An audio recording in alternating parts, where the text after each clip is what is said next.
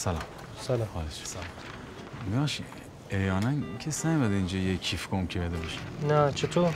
ما یه مقدار طلا پیدا کردیم.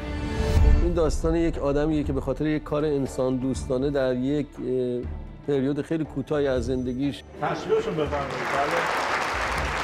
تبدیل میشه به یه چهره‌ای که دیگران بهش خیلی احترام می‌ذارن و بعد به دلایلی این احترامه از زندگیش حذف میشه و این تبدیل میشه به یه حسرت و تبدیل میشه به یه شکست براش.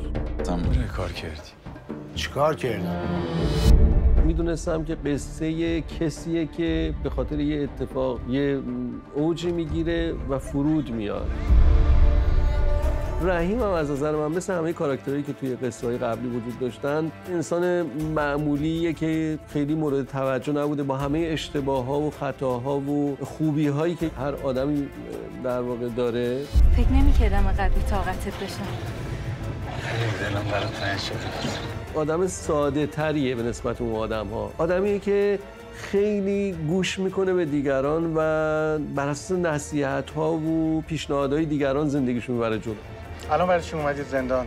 ولی خب شریکم پولم برداشت. برای همین نتونستم قصه وام پرداخت بکنم.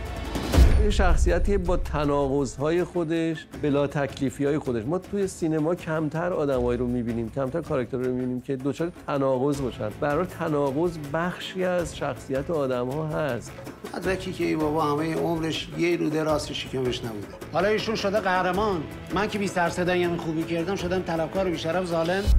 من فکر کنم دوره که کارگردان و فیلمساز به شما بگه که اینجوری و فقط اینجوری فیلم رو نگاه کن گذشته. یعنی ما یه فضایی نیاز داریم که تماشاگر فیلم رو اونجوری که خودش دلش می‌خواد ببینه. وقتی فیلم می‌بینیم در طول تماشای فیلم ما با احساساتمون فیلم رو می‌بینیم.